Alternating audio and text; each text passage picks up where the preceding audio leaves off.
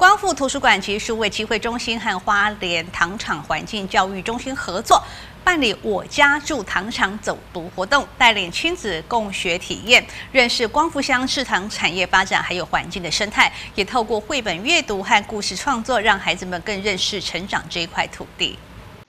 墙上放映着农民采甘蔗的身影，赫克导演比手画脚的示范，将早期台糖在光复乡。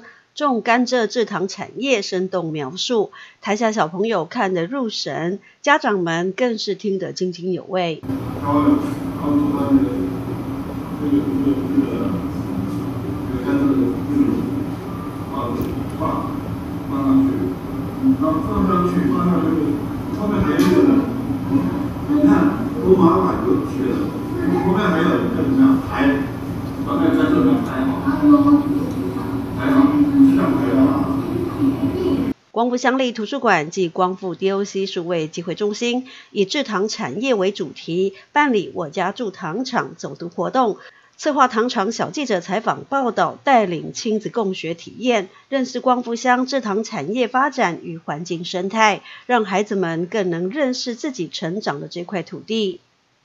我家住糖厂走读活动受到家长以及孩童们的喜爱。也为暑期光复乡图暨 DOC，接下来包括故事梦工厂、儿童阅读推广计划等，共三场次的阅读系列活动来暖身。有兴趣的民众可电洽光复乡立图书馆。记者石玉兰光复采访报道。